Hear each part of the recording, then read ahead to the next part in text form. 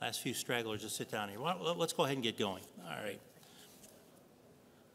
Welcome to those viewing either in person or virtually this Wednesday afternoon Lucky 13 technical session of the Nuclear Regulatory Commission's 35th Annual Regulatory Information Conference. And while this is labeled as a technical session, as has been the case for the past several years, to foster a timely discussion about a significant legal issue impacting the associated fields of administrative law and nuclear regulation, this session has been organized by the NRC's Atomic Safety and Licensing Board panel under the direction of Chief Administrative Judge Roy Hawkins. My name is Paul Bollwerk. I'm one of the Licensing Board panel's legal administrative judges. Panel Legal Administrative Judge William Froehlich and I are serving as the co-chairs for this RIC session. Before we begin, we have a couple of administrative items about the session that the attendees should be aware of. Uh, for those attending in person, the Wi-Fi code is RIC 2023, RIC 2023. Also, everyone here in Ballroom D, please silence, uh, remember to silence your electronic devices. Uh, the Q&A portion of this session will be through electronic means for both the virtual and the in-person attendees. For those of you in the session room, you may have scanned the QR code from the displays in the foyer. But if not, please take a moment and scan the QR code on the screen over to my uh, right. Oop, it was there. It disappeared. Um, there it is. Take a minute. I know it works. Even I, who's very QR code uh, challenge was able to make it work yesterday. So um, you will then be redirected to the specific session page for Q&A. This is the first time today you're accessing, you're accessing rather, uh, session Q&A page, you will need to log into the platform using the name and email address you provided when you registered for the RIC. This login is only required once each day. For those of you joining virtually, once you've logged into the virtual conference platform and joined the session, there's a tab for electronic Q&A.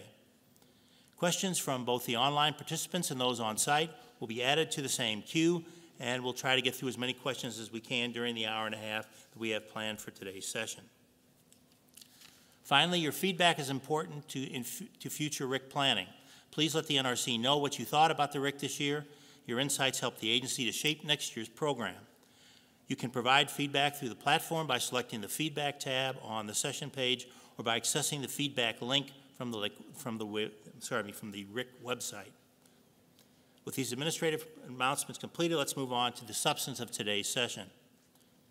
This afternoon's session is entitled A Look at Future Regulation, NRC and Otherwise, in Light of West Virginia versus EPA. As this title suggests, our focus over the next 90 minutes will be on this June 30th, 2022 United States Supreme Court decision striking down the Obama era uh, Environmental Protection Agency's Clean Power Plan rulemaking.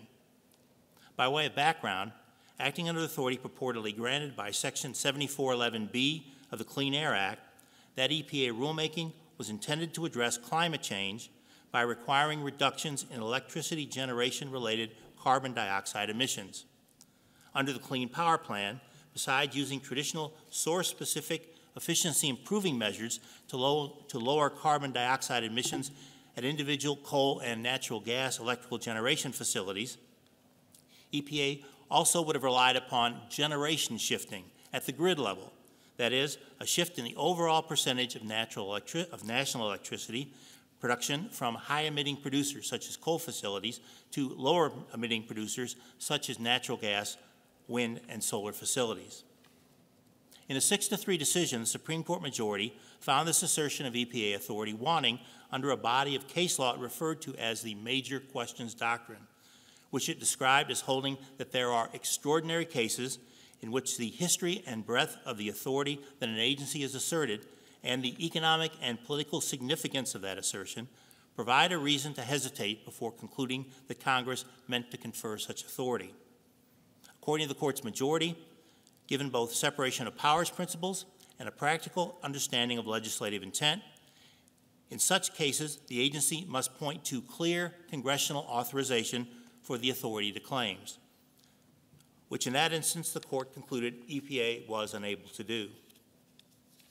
In the ensuing months, the potential impact of the major questions doctrine has come to the forefront in a wide array of administrative contexts, including the recent Supreme Court argument on presidential authority to forgive federal student loan indebtedness and, as we will hear more about from one of our speakers today, the NRC's authority to license a high-level waste interim storage facility in the state of Texas. Moreover, the case leaves in its wake a myriad of unanswered questions, both practical and theoretical, including what is a major question, what is the status of the long-standing Chevron doctrine regarding deference to an administrative agency's interpretation of its organic statute, and what is the relationship of the major questions doctrine to the perhaps analogous doctrine of non-delegation, that is, the constitutional limitation on the authority of the Congress to transfer its legislative powers to another branch of government. We are fortunate to have with us today an extraordinarily knowledgeable panel to help us consider and understand these and other conundrums sparked by the Supreme Court's West Virginia versus EPA decision, which appears to have all the hallmarks of becoming one of the court's seminal administrative law rulings. And so I'll turn now to Judge Froehlich, who will provide you with some background information about our distinguished panelists. Judge Froehlich. Um, we have scheduled four legal scholars today who will share with their share their perspective on what the case West Virginia versus EPA means for the future of administrative litigation.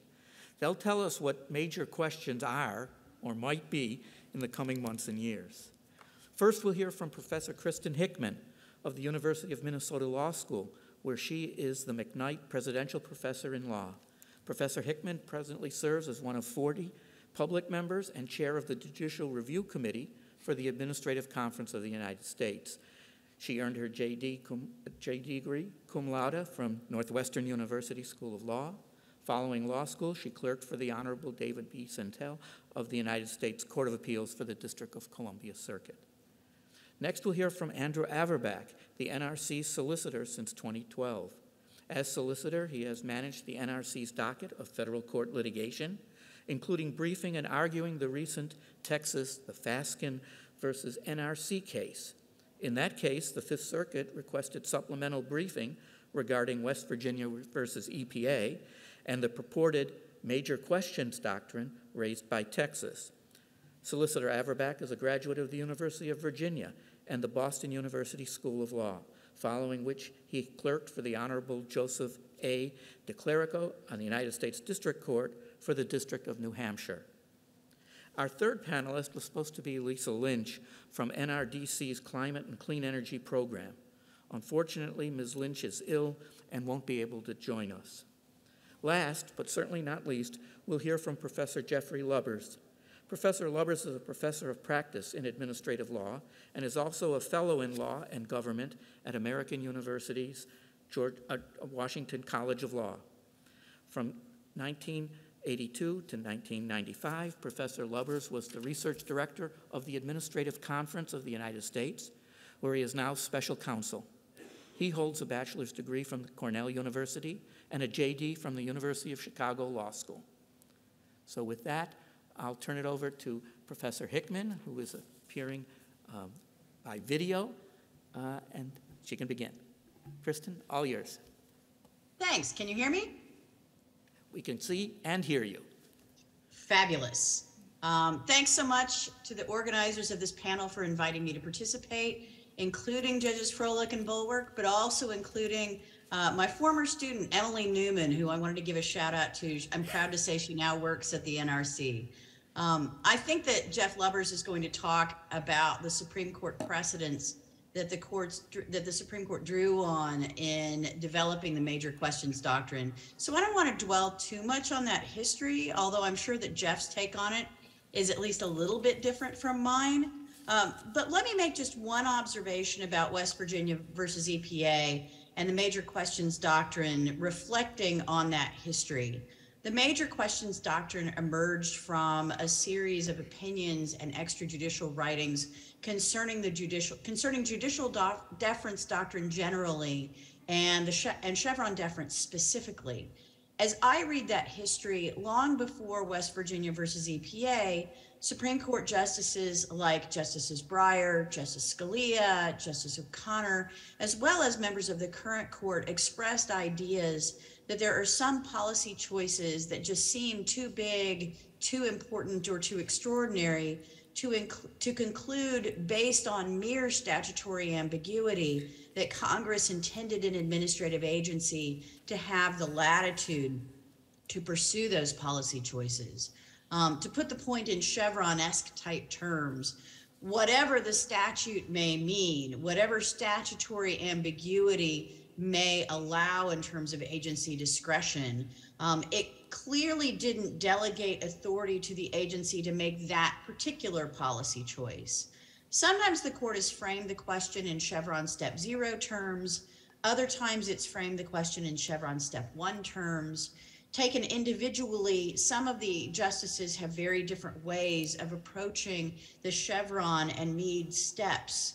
And they have tended in their opinion writing not to get too persnickety with each other's framing, even if they might write the opinion a little bit differently. Um, so you have to sort of take a lot of that, um, you know, the, the, the precise contours of the Chevron jurisprudence leaving, leading to major questions doctrine um, with a little bit of that in mind. These days, though, the Supreme Court isn't citing Chevron so much. Um, so in West Virginia versus EPA, it didn't frame its analysis explicitly in terms of Chevron or mention Chevron at all. Um, but the court also hasn't overruled Chevron, and I think deliberately so. As I wrote in an essay last fall for Harvard Law Review's online journal, it seems pretty clear to me at this point that Justices Thomas and Gorsuch don't have five votes to overturn Chevron. But the other justices also aren't really as interesting in picking a fight with Justices Thomas and Gorsuch in their opinions. So if you decide the meaning of a statute is clear, however you get to that conclusion regarding clarity, then deference isn't an option and you don't need to cite Chevron to use canons of statutory interpretation and other statutory tools uh, to find statutory clarity. And in the case of major questions doctrine, the Supreme Court is essentially saying that the statute in question, whatever it means, clearly doesn't authorize the agency to do what it wants to do. And that's some of how I think about the major questions doctrine. More important than where we have come from and how we got to where we are with the major questions doctrine is where we're going with it. As Judge Bollwerk observed in West Virginia versus EPA, the Supreme Court described the major questions doctrine as holding that there are extraordinary cases in which the history and the breadth of the authority that an agency has asserted and the economic and political significance of that assertion provide a reason to hesitate before concluding that Congress meant to confer authority on the agency to act as it is trying to do. Let me pull a few more points from both the opinion of Chief Justice Roberts for the court in West Virginia versus EPA and also from Justice Gorsuch's concurring opinion in that case. First of all, notwithstanding the fears that some have expressed about the potential breadth of the major questions doctrine, my own view is that the court's intention is narrower than that. In addition to the language quoted by Judge Bollwerk, emphasizing the history and breadth of the authority that the agency has asserted and the economic and political significance of what the agency is trying to do, as well as the phrase extraordinary cases. In another passage, Chief Justice Roberts noted the extent to which an agency is relying on modest words, vague terms, or subtle devices rather than more obvious statutory authority or statutory meaning if we're honest, I think we all know of occasions where facing political pressure in the face of congressional inaction or otherwise pressing circumstances, an agency has pushed the boundaries of statutory interpretation to claim authority, maybe even authority that it previously denied having, in order to address a particular policy problem through regulatory action. And that, I think, is what the court is really trying to get at. Um, statutory boundary pushing in order to do big things where it's not clear that the agency has the authority to do those things. Um, admittedly, the rhetoric that Chief Justice Roberts uses is fuzzy. Um, it would have been really helpful, wouldn't it, if he had articulated a three part test or something more concrete to guide us in understanding when to invoke the major questions doctrine. Um, For example, is it enough that the agency's action has major economic and political significance? Or does it also have to reflect the agency's reliance on modest words, vague terms, or subtle devices? Um, for that matter, what does it mean for the economic or political significance of an action to be major? Um, it's hardly, you know, this is not clear. It's fuzzy rhetoric that doesn't provide us with perhaps as much guidance as we might like. But it's also hardly the first time that lower courts have needed to synthesize and paraphrase Supreme Court rhetoric in order to glean legal standards and figure out how to proceed. Justice Gorsuch, joined by Justice Alito, wrote a concurring opinion in West Virginia versus EPA, in which he tried, I think, to be at least a little bit more concrete. He claimed non delegation and separation of powers principles as the conceptual bases for major questions as a substantive canon of statutory interpretation. He declared that the major questions doctrine functions as a clear statement rule, not as an ambiguity tiebreaker. He offered a non exclusive list of circumstances in which the court might apply the major questions doctrine and several telling clues for what qualifies as a clear congressional statement authorizing an agency's action. Chief Justice Roberts, in his opinion for the court, only hinted at some of this um, Justice Gorsuch's vision of the major questions doctrine, I think, is substantially more robust and aggressive than anything that the Supreme Court has done in the past that we might label as foreshadowing the major questions doctrine. And it's also more robust and aggressive, I think, than the vision articulated by Chief Justice Roberts. But it's also notable that only Justice Alito signed on to Justice Gorsuch's concurring opinion, even though parts of it were clearly written to try to appeal to other members of the court. For example, by citing some of Justice Barrett's scholarly work or citing legal scholarship that Justice Thomas has relied on in the past. Having compared the opinions of Chief Justice Roberts for the court and Justice Gorsuch in concurrence, my best guess is that at least for now, the circuit courts of appeal will proceed cautiously in their application of the major questions doctrine. My understanding from conversations with practicing litigators is that brief after brief after brief throws in an argument that a particular that various agency statutory interpretations violate the major questions doctrine. And they can do that all they want to, but that doesn't mean that the circuit courts are going to agree. I have no doubt that there is a subset of federal judges who are eager to embrace Justice Gorsuch's robust and aggressive vision for the doctrine. But I don't think that's most judges, at least not yet.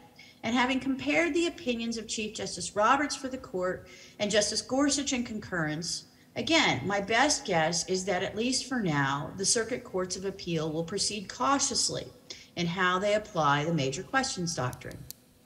Now, it's early days yet, and the landscape could change in coming months. But a few weeks ago, I undertook review of circuit court cases citing West Virginia versus EPA or the major questions doctrine.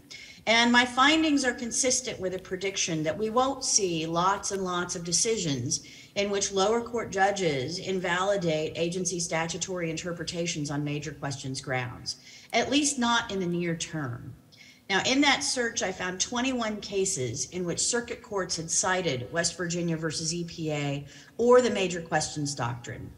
This is just a very rough sketch of what I saw, but eight of the 21 cases cited West Virginia versus EPA in conjunction with standing or mootness analysis, nothing to do with major questions at all. Several other cases, either in the majority opinion or in a dissenting opinion, cited West Virginia versus EPA, but for what I would describe as rather anodyne or uncontroversial principles of statutory interpretation, like agencies only have those powers given to them by Congress, or the importance of reading the words of a statute in context. There was one case that noted that the district court below had relied in part on major questions doctrine in rejecting an agency's interpretation of a statute. But the circuit court reversed that district court decision after concluding that the challenging party lacked standing. Um, so that's the majority of the 21 cases right there. And the handful of remaining cases that cited West Virginia versus EPA or mentioned the major questions doctrine, the circuit courts relied much more heavily on traditional tools of statutory interpretation and the Chevron two step framework than they did major questions doctrine. In a couple of cases, you had concurring or dissenting opinions mentioning major questions doctrine while the opinion of the court didn't. In a couple of instances, the majority opinion expressly refused to apply major questions doctrine. There were two DC Circuit cases in particular Loper Bright Enterprises versus Raimondo, which concerned an interpretation of the Magnuson Stevens Fishery Conservation and Management Act, requiring industry monitoring of fishing fishery operations, and the Washington Alliance of Technology Workers versus Department of Homeland Security concerning a rule that allowed for a 12 month gra- post graduation optional practical training program for holders of F1 student visas under the Immigration and Nationality Act. In both of those cases, the DC Circuit expressly rejected the applicability of major questions doctrine and instead applied Chevron to defer to the agency's interpretation of a statute. Um, in the latter of those two cases, Judge Karen, Karen Henderson at the panel stage and then Judges Henderson and Naomi Rao at the en banc stage suggested that the court ought to remand the case to the district court for at least consideration of whether the major questions doctrine was applicable. But they were in by far the minority in both of those uh, opinions. Um, I really only found two cases both in the Fifth Circuit, which I understand may be significant for the nuclear waste storage facility rule that was mentioned earlier, um, but only two cases in which a federal circuit court relied on major questions doctrine at all in rejecting executive branch interpretations of the statutes. And both of those cases involved matters that I would argue um, were front page New York Times type stuff. Um, in one case, Texas versus Biden, the Fifth Circuit declared that the memorandum authorizing the Deferred Action for Childhood Arrivals, or DACA program, was substantively invalid as an interpretation of the Immigration and Nationality Act at Chevron Step 1 using traditional tools of statutory interpretation. After reaching that conclusion, the court then said in passing even if the statute were ambiguous, DACA would fail at Chevron step two as an unreasonable interpretation because it undoubtedly implicates questions of deep economic and political significance, and there is no qu- clear congressional authorization for the Department of Homeland Security to adopt DACA. Um, you know, one thing I will note about that is even though the court's relying to some extent on the major questions doctrine as part of an alternative holding, um, it's only doing it at Chevron step two. Remember that Justice Gorsuch articulated that uh, the major questions doctrine was a clear statement rule, not an ambiguity tiebreaker. And yet here we have the court effectively describing it in terms of resolving statutory ambiguity rather than uh, as a clear statement rule. Um, the other case in the Fifth Circuit was Louisiana versus Biden, which challenged a presidential executive order requiring vaccination against COVID 19 for employees of federal contractors and subcontractors based on statutory authority contained in the Federal Property and Administrative Services Act of 1949, sometimes called the Procurement Act. The Procurement Act provides policies and procedures for government procurement and contracting efforts. In declaring the executive order invalid, the Fifth Circuit talked at some length about how this executive order did or didn't resemble other executive orders invoking the Procurement Act and conceded that the Procurement Act gave the president quite broad authority over federal contractors.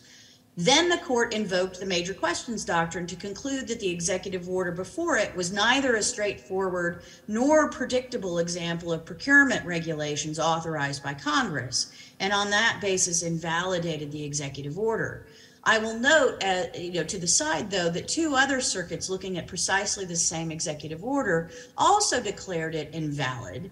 um, but n- without relying on the major questions doctrine and instead relying purely on traditional tools of statutory interpretation to conclude that vaccination against COVID 19 for em- employees of federal contractors and subcontractors was just beyond the scope of what anything that Congress might have intended to confer in terms of executive branch authority with the Procurement Act. Um, I guess my bottom line with all of this is that even though it is early days yet and all of this is still unfolding, I'm just not seeing the kind of rampant overturning of everyday agency regulatory interpretations that some people have suggested will happen under West Virginia EPA. And the more I watch what the Roberts Court is actually doing, ignoring and putting aside some of the more grandiose rhetoric of a few of the justices, as well as a small number of lower court judges, and really digging into the details to try to put together the bigger picture of the implications of Roberts Court's jurisprudence for the administrative state. I am less and less convinced that the court is targeting day to day, run of the mill agency decision making as opposed to aggressive agency boundary pushing when it comes to statutory interpretation. I will finally add that I think it's important to recognize, with respect to the major questions doctrine, that uh, the court has not said that Congress cannot delegate authority to agencies to do these things, just that in the statutes as currently written, Congress hasn't delegated authority to agencies to do the things they're trying to do, essentially in an effort to try to, you know, leave the door open, um, if not outright prod Congress to amend statutes to expand agency authority to adopt and pursue the kinds of policy programs that they're wanting to pursue in some of these cases. Um, with that, I'll wrap up my remarks and turn, turn it over to our next panelist. Andrew, take it away. Okay, well, th- thank you. Thank you, uh, Judge Froehlich and and Judge Bollwerk for having me. Uh, I'll begin with a a standard disclaimer that the uh, thoughts I'm offering here are are uh, solely my own. I I say this in part because I have to, but also because, as has been noted, we have a case pending where the major questions doctrine has been invoked, and we're still waiting for a decision. In- In fact, when I was invited to this panel, I don't know, back in November, October, I was uh, under the impression that we'd have a decision from the Fifth Circuit um, since the case had been argued in August. But here we are, and as of the last time I checked my email, um, we, we don't have a decision yet. In any event, I'm not going to shed much light on, any new light on issues that are currently pending before the court, but some background about how the issue came up in, in the Texas case and how it might come up uh, and play out in the future, I think is, is helpful to the discussion we're having today. today. Um, so the Texas v. NRC case has to do with the licensing of a so-called consolidated interim storage facility uh, for the storage of spent fuel and high-level waste. And that license was issued to the applicant, known as Interim Storage Partners, pursuant to the NRC's regulations at 10 CFR Part 72. And as I'm sure many of you here are aware, there's another application currently pending before the agency for a similar uh, facility in New Mexico. And potentially, these facilities could provide storage for an extended period of time for a good chunk of the nation's spent fuel, pending the licensing and construction of a permanent repository. And these facilities could, of course, be particularly useful for the decommission, for the, uh, for reactors that either are in the decommissioning process or that have decommissioned already. Um, so now, why do I say so-called consolidated interim storage facility? Well, I- I say that largely because Texas came to court in the Fifth Circuit making the argument that there are really only two types of facilities that the NRC is empowered to license, a production facility and a utilization facility, and a consolidated interim storage facility isn't one of them. And so Texas asserted that licensing the facility was outside the authority of the NRC, and that as a result, the agency had acted ultra vires, that is, beyond its statutorily conferred authority, and that as a consequence, it didn't even need to raise an adjudicatory contention before the agency. It could just come straight to the Fifth Circuit. Um, now, as I mentioned, the, the Fifth Circuit is, is considering both the jurisdictional arguments we've raised as well as the substantive arguments about the legality of this decision. Um, and I'll just further note that back in February, so about a month and a half ago, uh, the 10th Circuit issued a decision, issued a decision which was essentially in a, uh, on a case that's procedurally similar, in fact identical to the 10th, to the Fifth Circuit case, where the state of New Mexico had raised a similar challenge to the ISP uh, facility. And the Tenth Circuit said, well, you know what, you didn't come to the agency first.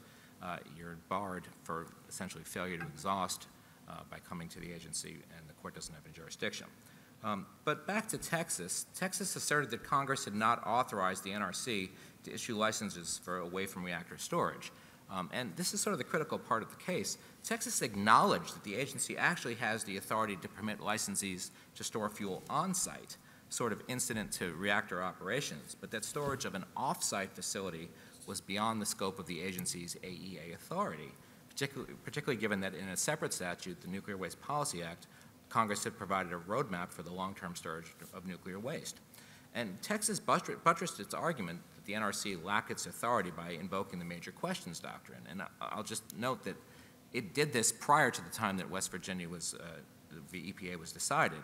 Um, It it asserted in its briefs before the, um, before the Fifth Circuit that Congress had not clearly provided the authority to issue licenses for away-from-reactor storages to the NRC. Not surprisingly, the NRC and the United States defending the case disagreed. And again, we admitted, as Texas uh, uh, argued, that uh, the license issued to ISP was not a, for a utilization facility or a production facility. But we noted that Texas's fixation on the type of facility uh, had been licensed ignored the fact that the license issued to ISP was not actually a, a facility license at all. It was a materials license. And we explained that Congress had specifically permitted the NRC to issue licenses for the possession of source, byproduct, and nuclear materials, the constituent elements of spent fuel, in three separate provisions of the Atomic Energy Act, none of which contain any restriction as to where, i.e. on-site or off-site, uh, that material can be stored. And so once West Virginia came down, we asked for, and the court granted us, leave to file a, file a supplemental brief explaining why the issue did not present a major question at all, and, it, and why, even if it did, Texas's argument still failed because the agency, um, because Congress had clearly provided the agency, the NRC, with the authority to issue materials licenses of this type under the AEA. And this was really one of the first cases that the government was required to defend after the uh, West Virginia decision, where a substantive and substantial major questions doctrine argument had been made. So suffice, suffice it to say that we at the NRC and our colleagues at DOJ spent a good amount of time thinking about the issue and how the doctrine might affect both the NRC specifically and federal agencies generally. So I- I think I'll share a, a few points, a few important points from, from our brief, as well as Texas's, and describe uh, the way the issues have actually played out in, in real life litigation um, and how they might play out in the future, no matter how the Fifth Circuit rules. Uh, First, uh, a few thoughts on, the- on the question of whether or not something is actually a major question. Uh, One of Texas's primary arguments in the case is that spent fuel storage is politically fraught, and that as a result, questions pertaining to spent fuel storage are major, and therefore fall within the doctrine. Now, I, I think Texas is correct when it says that issues pertaining to spent fuel storage are important and politically sensitive, and I, I think it's probably fair to say that anyone who lives in California or Nevada or New York or Minnesota or Massachusetts or Vermont, and really any place where there's a nuclear power plant, will agree that, well, yeah, spent fuel storage and spent fuel and nuclear power plants are, are politically significant question, uh, raise politically significant, significant questions. But the question isn't in the abstract um, whether something is politically sig- significant. If it were, almost every decision that the NRC makes could be considered a, a major question. And I don't think uh, that the Supreme Court intended, given its emphasis on something having to be an extraordinary case for it to qualify, um, that every single decision of the agency would be classified as, as major. The, the, the question is whether the specific legal authority that the agency is claiming to exercise represents one of vast economic and political significance. And, and here, as we explained in our briefs before the Fifth Circuit, the question before the Fifth Circuit is actually quite narrow. Is the agency's authority to issue licenses for the possession of spent fuel confined to the property um, at or adjacent to a nuclear reactor, or does it, does it extend off-site? And framed like that, I think it's fair to say that this narrow question about the geographic scope of an authority to store spent fuel, an authority that no one disputes that the agency actually has, um, is one that doesn't rise to the level of extraordinary political and economic significance. So again, I think it's important to, to ask ourselves when we're considering whether or, not, whether or not the major questions applies, um, what exactly is the question? Um, and to look at that question not from 50,000 feet about the importance of the subject matter, but rather the precise legal question that's been raised compared to the statutory authority that's been invoked.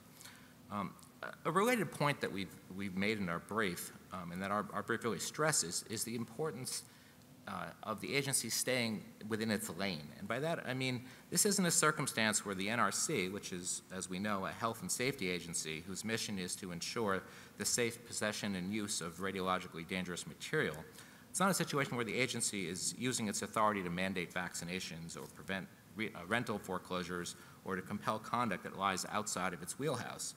And so our brief makes the, the self-evident statement that it shouldn't come as a surprise to anyone um, that the agency making decisions about whether and where and when nuclear material can be stored is the Nuclear Regulatory Commission. And if the decision at, in West Virginia is to be taken at face, face value, it means that the agency won't be acting in an extraordinary manner when it takes action that's re- directly uh, related to its regulatory domain in an area in which, is, in which it has been recognized as the expert uh, by Congress.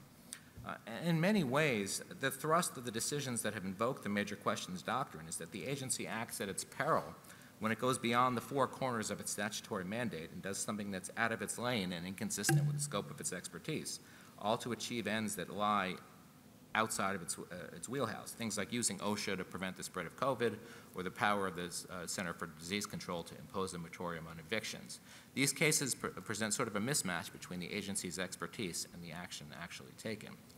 Now, here, the agency's issuance of a license for spent fuel storage is one of thousands that the agency has issued to possess nuclear materials. And it's pursuant to a set of regulations that have been in existence under Part 72 for more than 40 years. And it's not, as the court suggested in West Virginia, the exercise of a provision that had been recently plucked from a statutory backwater. And we went to great lengths in the, to emphasize in the Texas case that the NRC's authority to issue interim storage licenses under its statutory authority to regulate the possession of nuclear material had been recognized both by the D.C. Circuit and the 10th Circuit uh, in the litigation surrounding the PFS facility back in the early 2000s. So I think an argument can be made in this and other cases that the major questions doctrine isn't a great fit when the agency is, act, is taking action that's subject of its own expertise and is designed to further an aim uh, that's consistent with the goals of its organic statute. And when the authority for such action has been recognized over an extended period of time and endorsed by prior judicial opinions.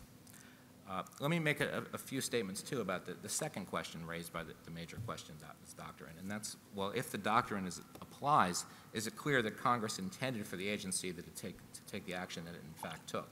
And a, a few points on this. Uh, First, a sort of a pet peeve of mine is when I hear in the press or I hear people characterize the arguments that are being made as, well, here, did the agency violate the major questions doctrine? Uh, I don't think that's the right way to look at it, because I don't think the major questions doctrine is a rule of law that can be violated. I think it's a way to look at a question and to ask, um, well, how are we going to judge whether the agency has stayed within its statutory boundaries? Um, If the major questions doctrine is applicable, that doesn't mean that the agency automatically loses. Um, Undoubtedly, it means that the agency can't rely on Chevron deference to justify its authority. Um, But in that circumstance, the question is whether or not, whether or not Congress has unambiguously authorized the agency to exercise the authority that it's claimed. Um, In any event, uh, we think that it's clear in the Texas case that um, uh, there's no statutory limitation on, on the place where Congress said that licensees could uh, possess licensed material. In the Atomic Energy Act, Congress provided that the agency has the authority, as I said, uh, to issue licenses for the possession of source, byproduct, and nuclear material. And while it certainly has the power to say, well, you can't store it here, you can't store it there, um, that's a matter of the agency's judgment um, that was given to it by Congress, not something that Congress has somehow mandated. Nowhere does the statute confine its authority to co-location with a reactor facility or compel the agency to limit the location of the manner and, and, and, and possession in the manner that Texas has suggested. In other words, it's not the NRC that's reading additional powers into the agency's statutory authority. It's Texas that's imposing atextual geographic limitation, limitations. So I, think we need to be asking, um, wary of arguments that uh, the agent, that the agency is, has somehow, or we need to be wary of arguments that the agent, that the goalposts have been moved, like the, like of the type Texas makes, where it's saying, oh, well, there's, there's, there's some additional atextual consideration that rises to the level of an ambiguity, and that because of that ambiguity, the major questions doctrine should be uh, invoked. Now, I'd be remiss if I, if I didn't acknowledge that there are at least some statutory limitations on the agency's authority to issue licenses to possess nuclear materials, and that these limitations at least arguably create either major questions or non-delegation, non-delegation doctrine concerns. Um, among others, Section 53 of the Atomic Energy Act authorizes the NRC to issue licenses for special nuclear material for three different purposes. First, there's really two provisions, but collectively uh, for the, con- the conduct of research and development.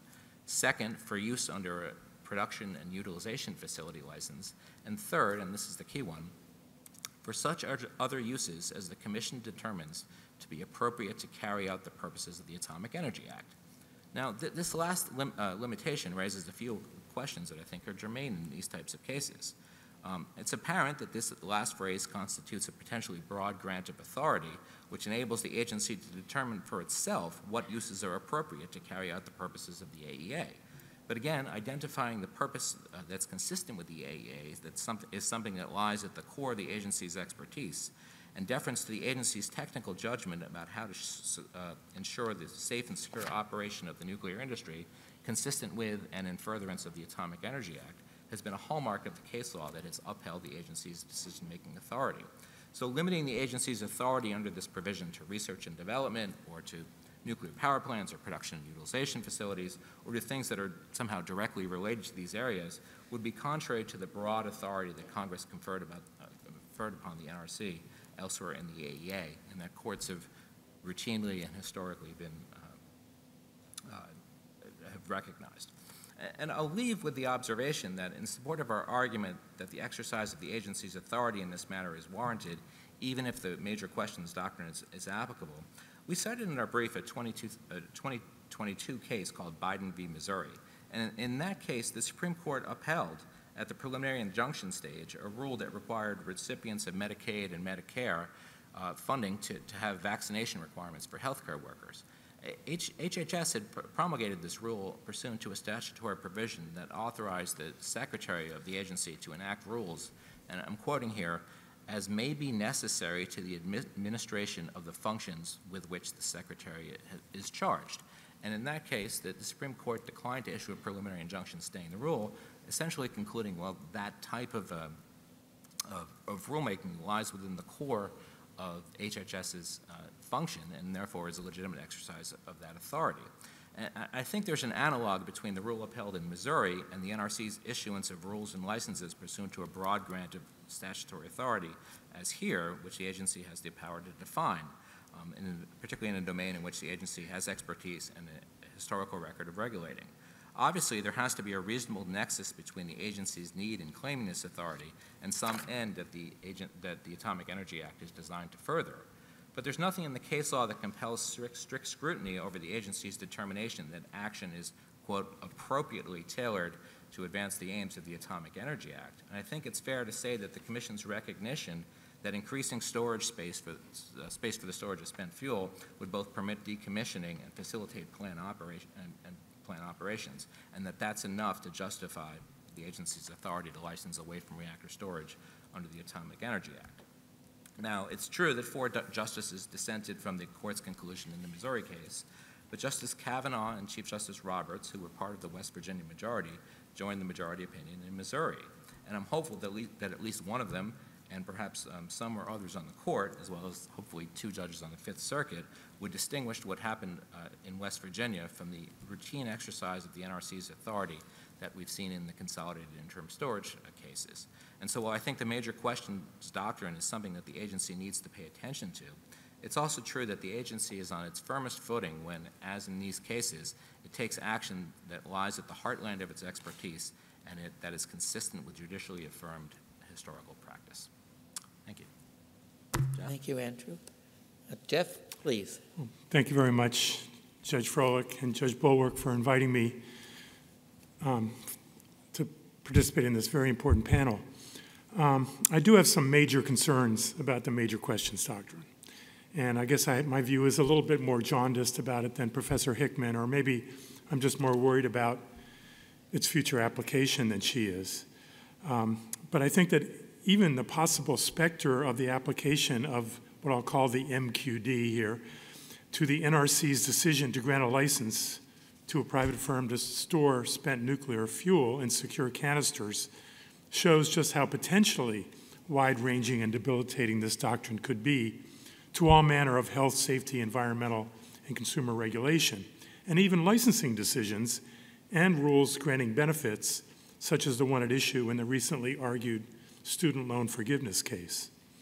But I also want to say that the MQD is just one arrow in the Supreme Court's quiver that it is using to chip away at the power of the so-called administrative state, which itself is a pejorative term that the court has increasingly used to describe the executive branch of our federal government. So let me mention some of the other arrows first, because some of them also could be aimed at the NRC. I'll be brief on these, because, but we'll be happy to expand on them during the discussion and Q&A. First, the court has been whittling away at the basic concept of independent regulatory agencies like the NRC.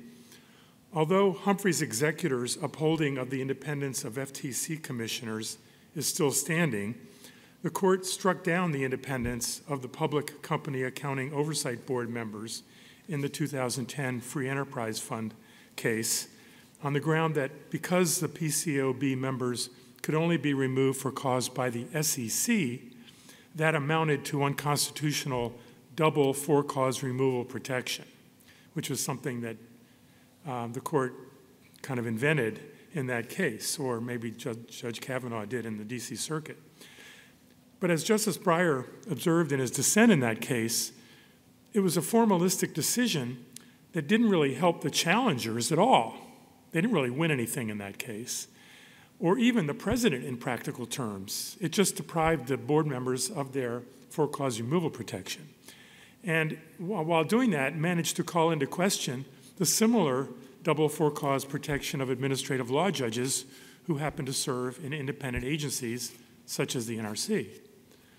A second whittling away at independent agencies occurred in 2020 and 2021 when the court held in Seila Law versus CFPB and Collins versus Yellen that Congress could not provide for cause protection for agency heads of agencies with a single director, like the CFPB and the House, Federal Housing Finance Agency.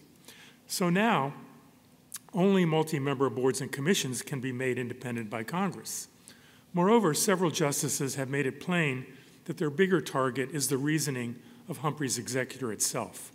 And a few weeks ago, the court granted cert on a case in which the Fifth Circuit found the CFPB's funding to be unconstitutional because Congress has provided for some of its funding from non-appropriated funds. Will this call into question the funding of numerous agencies like the NRC that rely in part on user fees for their funding? We don't know.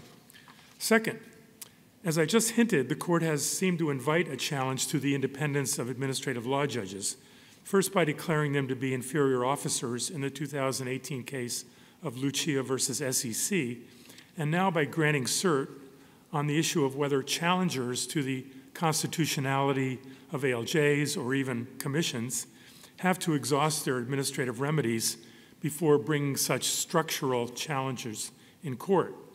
The Fifth Circuit and one DC Circuit judge have already found ALJs to be unconstitutionally protected from removal, and I expect that issue to be before the court as soon as next term. These cases also bring up the role and independence of the Merit Systems Protection Board as the adjudicator of actions taken against ALJs and even rank and file civil servants. Third, the court has clearly signaled its interest in reviving the non delegation doctrine. As you probably know, the court has not struck down a federal statute for a lack of an intelligible principle since 1935. But in the 2019 case of Gundy versus U.S., four members of the court declared their interest in ditching the intelligible principle test for something stronger. And in that case, Judge, it was a 4-4 court, so Judge Kavanaugh had just joined the court and did not participate in that case. Justice Alito agreed with the majority to uphold the statute, even though he um, talked about his misgivings. However, the hard question for these justices who want to do that is what would a new non delegation doctrine look like? what would be the new test? This is not so easy to craft because invoking that doctrine means a holding that the statute itself is unconstitutional.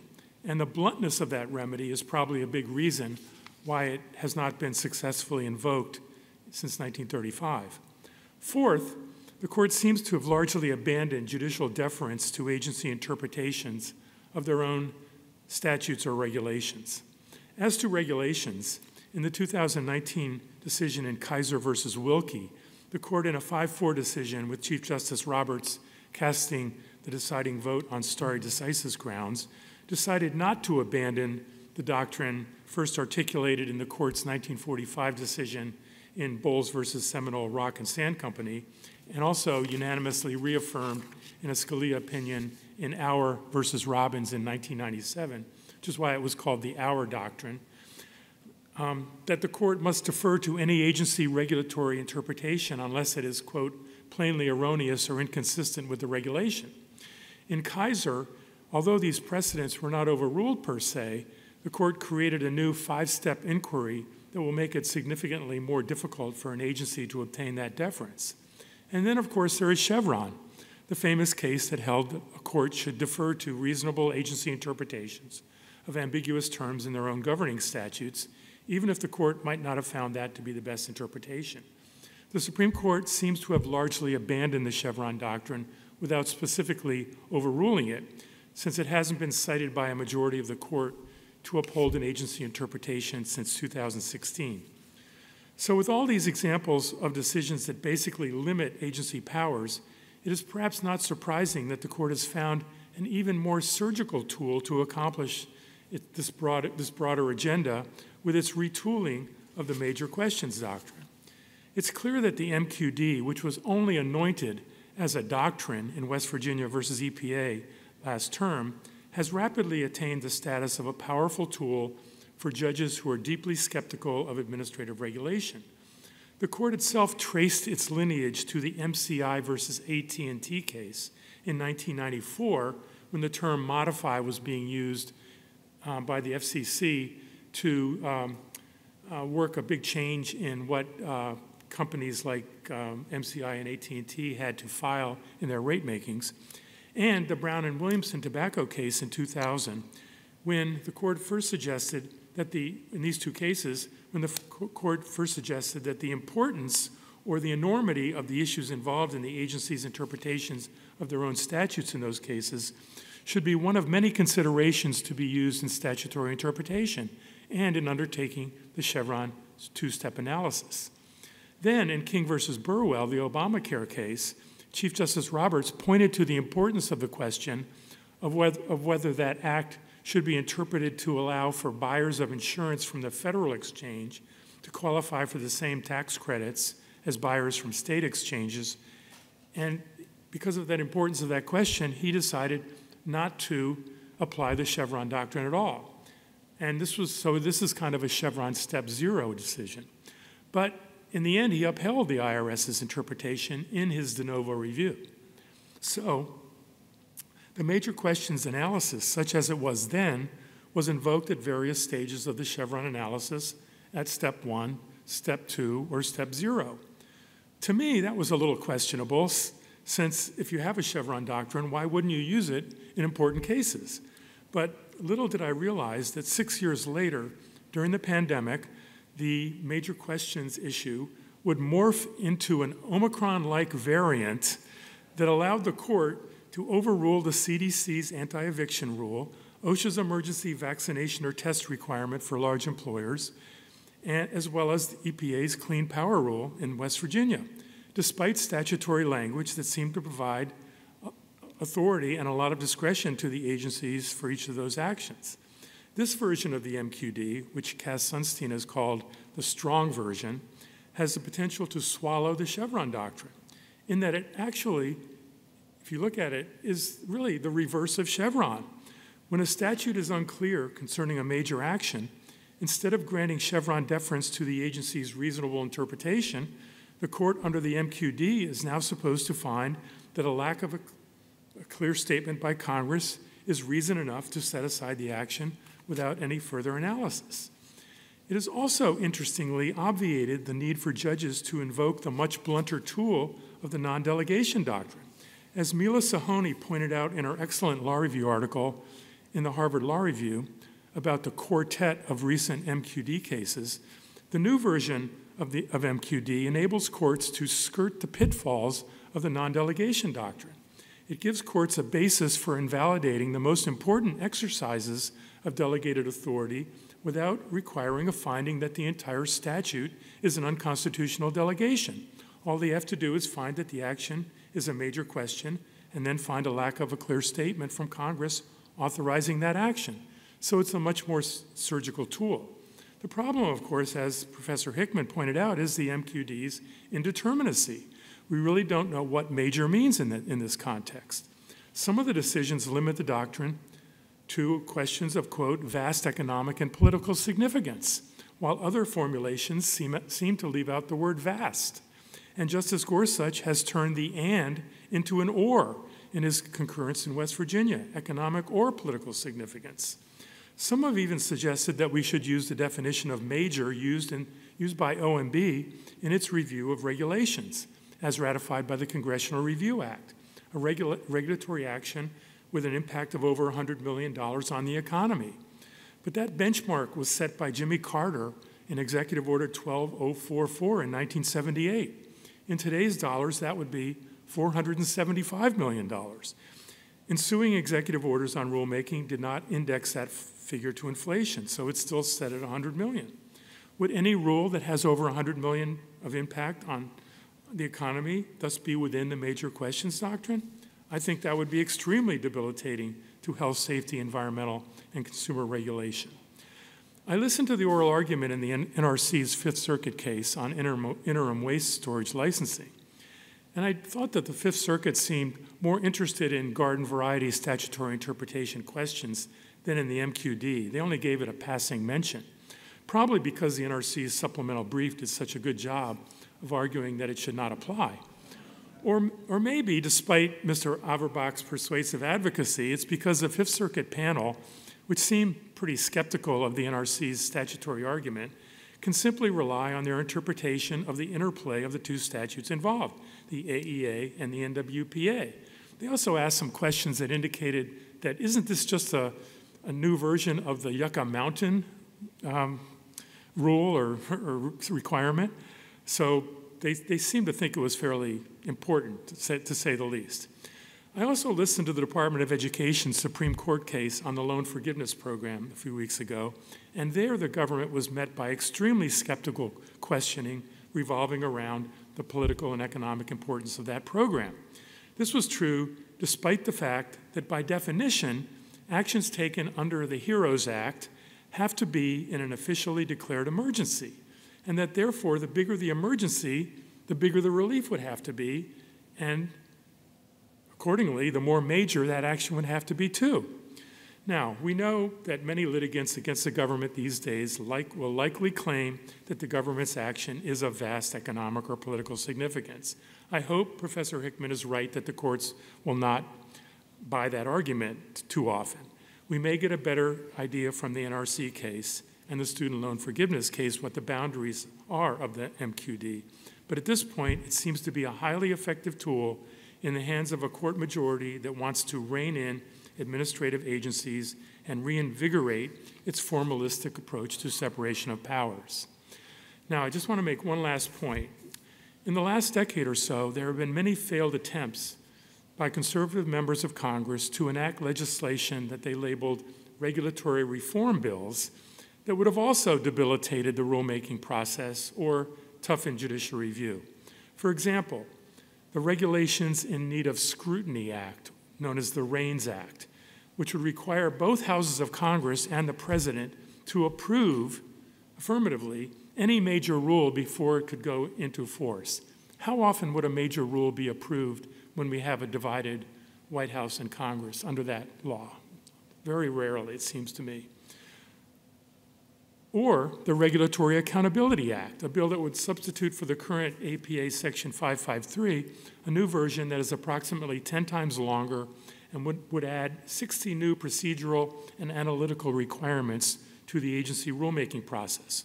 or the grandiosely titled Separation of Powers Restoration Act, which would forbid reviewing courts from giving any deference to agency legal interpretations, meaning that every review would have to be de novo.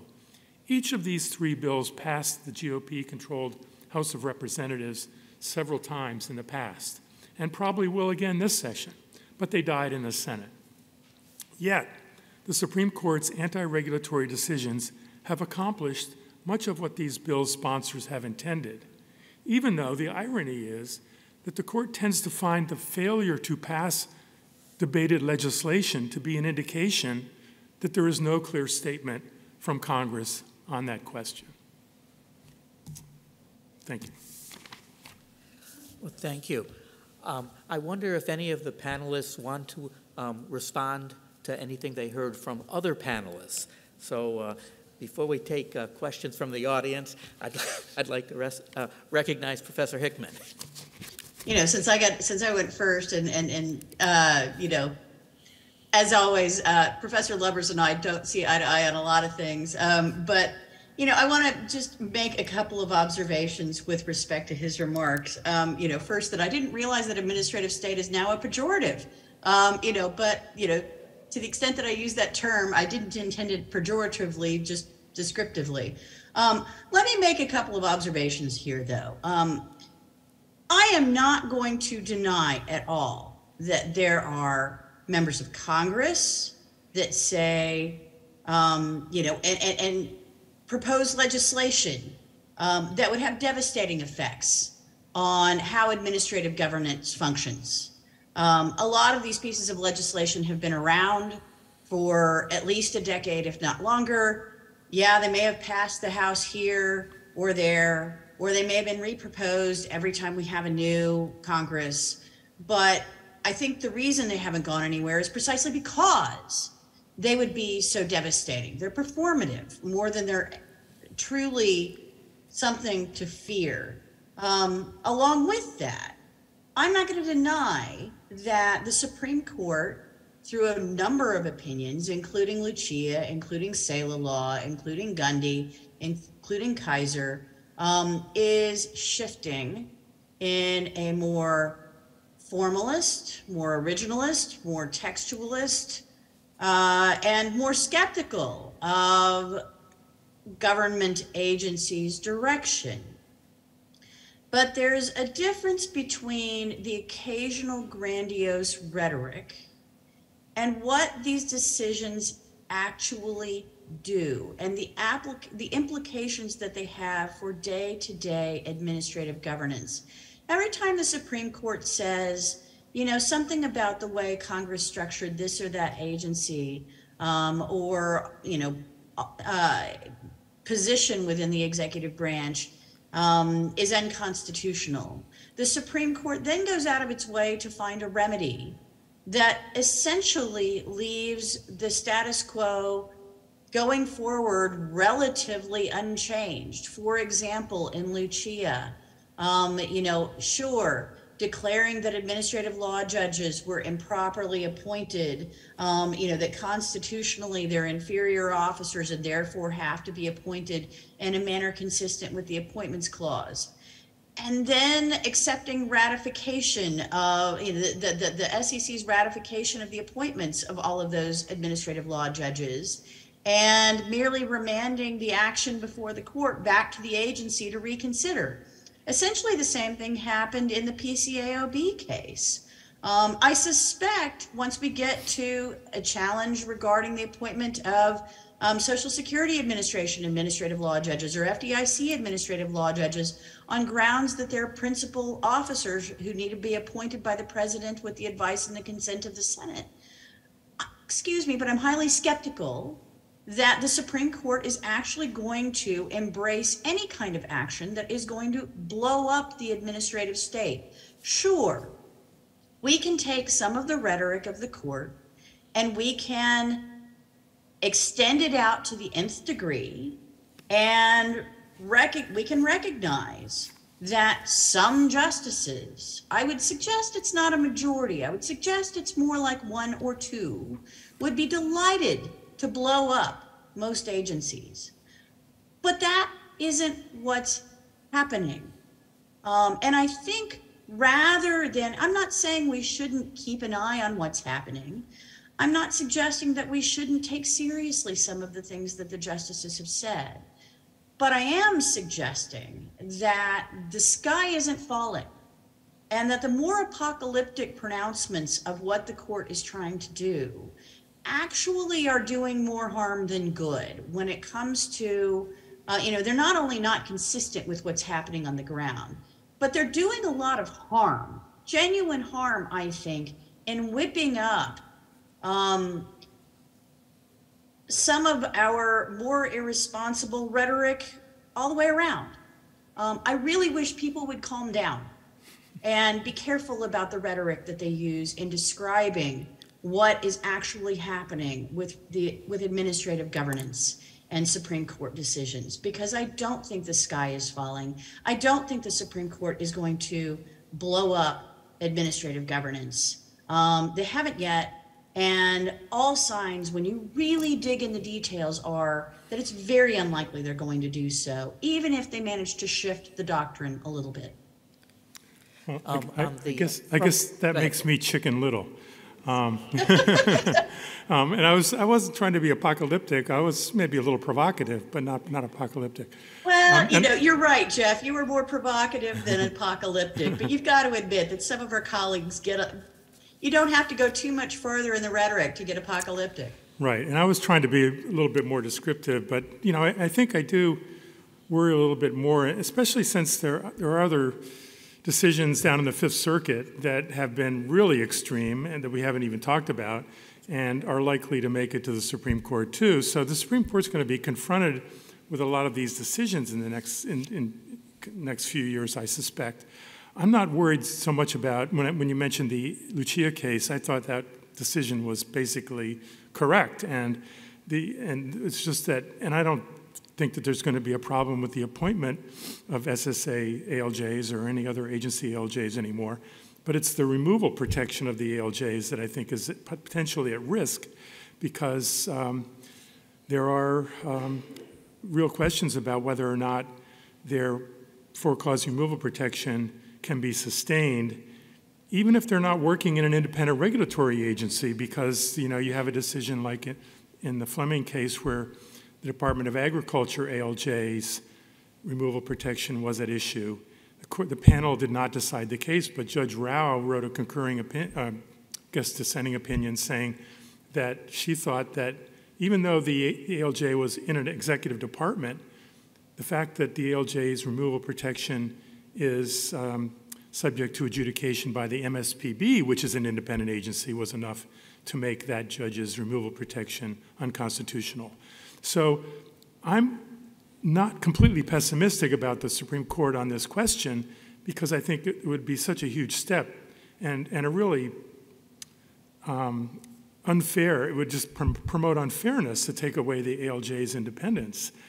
But, you know, you, there are opinions by judges that just basically draw a straight line from free enterprise fund to, to doing that, notwithstanding the fact that the court dropped a footnote in that case saying we're not talking about ALJs. So we'll see. I think that's a big test to see how, you know, apocalyptic I should be. Um, I, I, hope the court doesn't go that far, but I suspect that four justices might. Um, and if it's, you, know, you only need one more.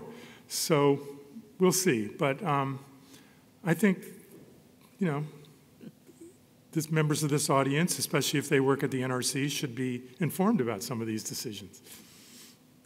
Absolutely, they should be informed about them. I just don't think that they should get too terribly worked up about them yet. Thank you.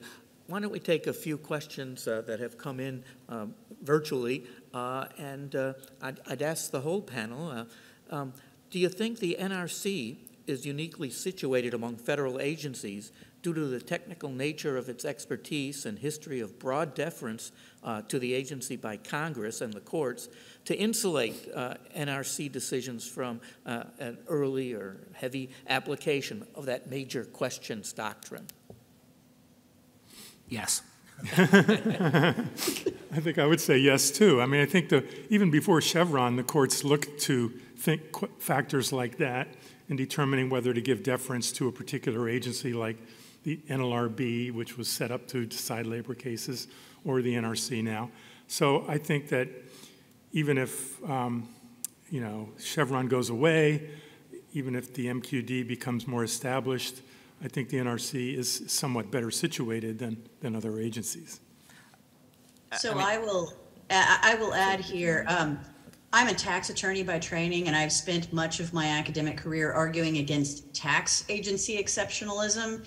And they have a lot of expertise too. So I'm not sure that I would necessarily say that NRC is uniquely situated in this regard. I think what I would be more inclined to say here is that um, you know, a, a- along the lines of some of the comments earlier, while it's not quite right to say that the things that NRC does are, it's certainly not right to say that anything that NRC does isn't politically consequential or things like that. I mean, these things are politically sensitive, and the NRC deals with very important issues.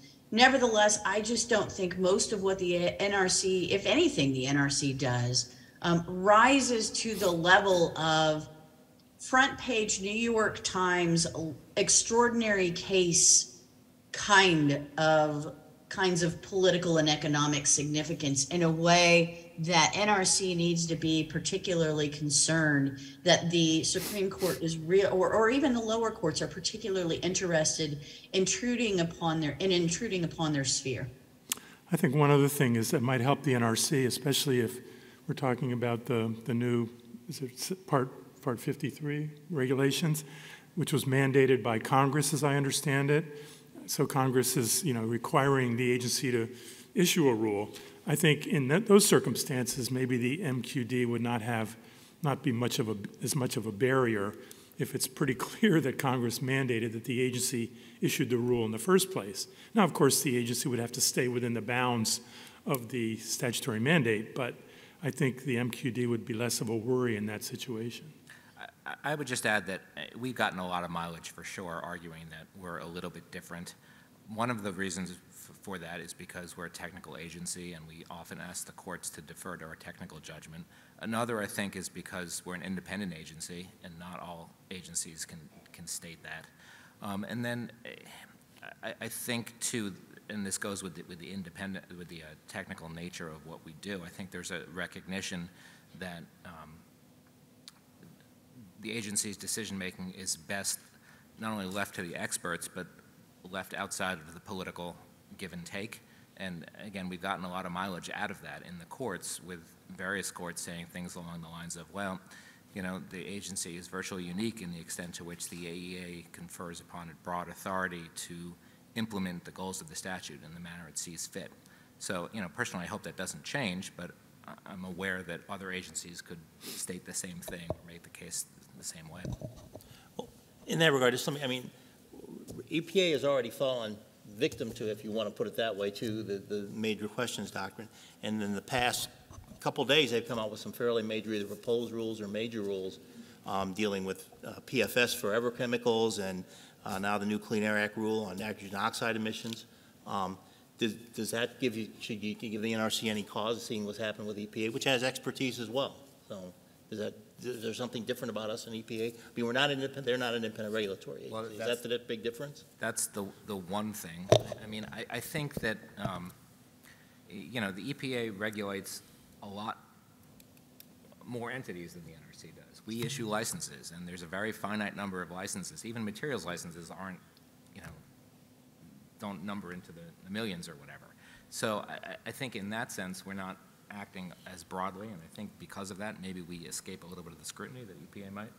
But, you know, I think also OSHA's rule that got struck down was, they had pretty clear authority to issue temporary emergency standards. And keep an eye on the home, the student loan forgiveness case, because the Department of Education had pretty clear authority to issue um, waivers um, when a national emergency had been declared.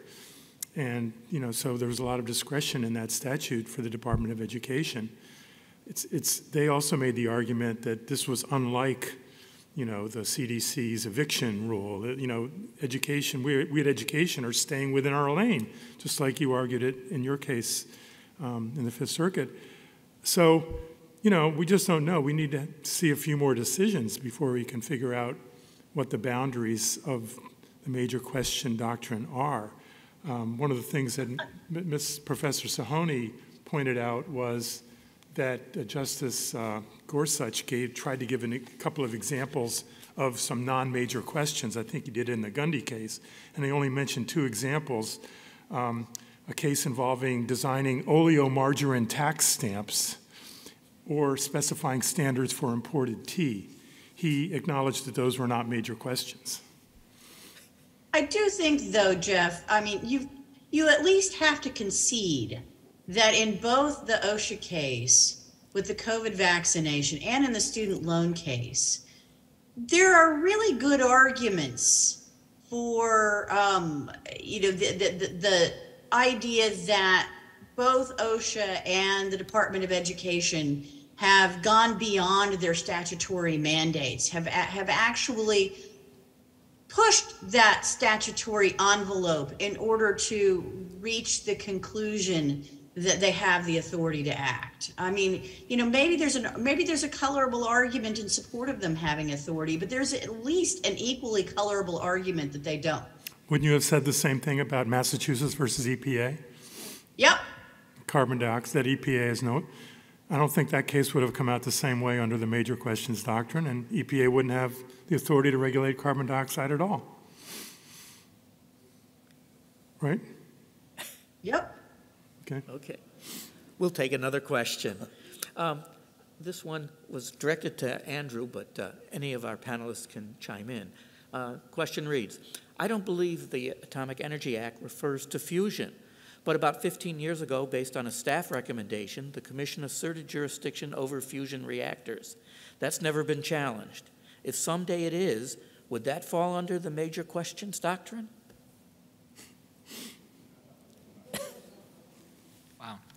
Um, I don't know. Uh, I, I, I mean, certainly, you could make an argument uh, to that effect, but again, I would, I would, one of the things I said that I'll, I'll stand by is that you have to look at the specific statutory provision we're talking about, and then determine whether or not the exercise of the authority claimed under that provision, um, whether or not the broad interpretation of, of that provision is itself a major question. Let's not just talk about, oh, is fusion important? Is fusion this cutting edge thing that can transform society? Because now we're off running about how, you know, without any defense as to that it's not an important political question or economic question. Um, so I really, I, I think it's important to, to confine our analysis to the specific statutory provision that the agency is operating another, under, and then to say, hey, look, is that what Congress wanted the agency to do when it, in, or at least conceivably might have thought the agency would do um, when it, when it uh, enacted a particular provision granting the agency authority. And even in those types of statutory provisions that grant the agency some bit of discretion, that say, oh, you know, to take such action as the agency considers appropriate under the circumstances. Um, even with respect to, to, to those types of discretionary provisions, it's necessary to look at the statute itself, look at the provision, and look at what Congress was at least considering uh, when it made that decision. I would hope that if a court ruled that you didn't have authority over nuclear fusion, that Congress would immediately step in and amend the statute to give you that authority. Um, and that, that's kind of a cure-all for all of these problems, except that it's so hard to pass legislation these days that it's not always a, a possible cure. Which raises an interesting question. Should the Supreme Court base its decisions on Congress's inability to get its act together? They sh- should take that into account, shouldn't they? We've, we've seen I don't know. I mean, is that, it, it, uh, you know, that's, that's something, I, I'm posing the question, but I don't know that I have an answer for it. I don't know Because that I hadn't really either. thought of it in these terms before, but it raises an interesting question of whether the Supreme Court should interpret its own authority by reference to the practical difficulties of Congress to actually do its job. I mean, this came up in the Voting Rights Act too, you know, where Chief Justice Roberts basically said it's up to Congress to, you know, fix, to come up with a better statement in, the- in the statute, but Congress is sort of paralyzed from doing so. Let me put this a slightly different way. Um, The, the, the staff paper that that talks about fusion makes three recommendations, uh, potentially on how to do it, Uh, but there's also some talk about the need for legislative action. If the agency were to take, ask for legislation, rather than, say, uh, promulgating a lot of regulations, and they don't get it, where do you, where does that leave you then? Well, I, I mean, this came up in, in, in the Texas case, and, you know, Texas said, hey, look, here are these types of statutes that are kind of similar to what the agency is, is purporting to, to accomplish here, and Congress never enacted them. So, you know, therefore, we should infer that Congress didn't want the agency to do this. And, you know, if the agency is act, is asking for different authority, or no matter how small a difference, I, I think it's relevant that, you know, it may have the authority, but it may want to expand that authority, may want to change that authority. I think, I I don't think you can just say flat out, well, just because the agency thought about going to Congress, and maybe it even did, um, that therefore it doesn't have some other authority which is related um, to what it wants to do. I would agree with that, that you don't want to make any categorical conc- statements or conclusions with respect to um, either, you know, a call by an agency for congressional action or by Congress trying and failing to enact legislation. You know, these, the context, context matters and the devil's in the details of these these sorts of um, situations. And so, while it may be relevant, it may be part of the discussion with respect to the agency's authority. I don't think either of those things could be dispositive as a categorical matter. I also think that, you know, many times an agency or, you know, a congressperson might seek legislation as a sort of belt and suspenders kind of thing, not because the agency lacks the authority, but just to resolve any ambiguity or to give certainty to regulated parties that, hey, what the agency is proposing to do is within its statutory authority, so as not to find ourselves years down the road with millions of dollars expended, that, oh, yeah, that license you issued actually lacks statutory authority. Right. I mean, in some of these cases, you have state you have statements outright from agencies. We don't have the authority to do X. We need Congress to act so we can do X. Whereas in other instances, you simply have agencies expressing, um, you know, sort of a question, um, you know, or, or exploring what is the scope of their authority and having good arguments that they do have authority, but never, nevertheless saying it would be helpful if Congress were to clarify. And those are two very different contexts, right? Yeah, so in Brown and Williamson, the FDA had said that they didn't think they had the authority to regulate tobacco. And that came back to, to bite them during the Brown and Williamson case. And, and this is the problem with the major questions doctrine, because if you make the admission that additional clarification is warranted, then if it turns out to be a major question, you lose, right? Well, no, because it depends too. I mean, for all of Gorsuch's, Justice Gorsuch's, um, you know, adamancy that, that, that, uh, you know, that the major questions doctrine is not an ambiguity tiebreaker, that it's a clear statement rule. At least thus far, we have, you know, examples to the contrary, both I think from the Supreme Court and from the circuit courts, um, you know, where they're they're they're more inclined to um, evaluate, you know, they're more inclined to use other tools or they're more inclined to require some higher level of ambiguity. Um, sort of, I, I was sitting, I sat and listened to a, a, a Supreme Court argument once in a case called Home Concrete, where the justices were talking about ambiguity in the Chevron sense being a term of art, that not every not every ambiguity rises to the level of Chevron type ambiguity that requires deference. So simply because an agency expresses some question, um, you know, about a lack of clarity in the statute and a desire for Congress to act to, um, you know, in a belt and suspenders type way to confirm that their interpretation of the statute is giving them authority is accurate, I don't think necessarily means that the major questions doctrine gets invoked to smack them down. Never mind the fact that the question has to be of major economic and political significance in the first place. I have a question that has come in directed uh, to Professor Lubbers, uh, but the panel can answer. Uh, Justices like Kavanaugh have recently seemed supportive of Humphrey's executor when discussing independent agencies. Do you think Humphrey's executor is in danger of being overturned with the current court?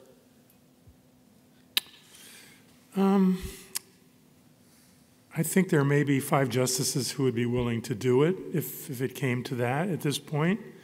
Um, I think the reasoning of Humphrey's executor has been criticized for quite a while because, as you recall, the court said that the FTC was different from an executive, purely executive agency because it had quasi-adjudicative, quasi-judicial, quasi-legislative functions. Well, that distinction doesn't work anymore because, you know, Attorney General has both of those as well.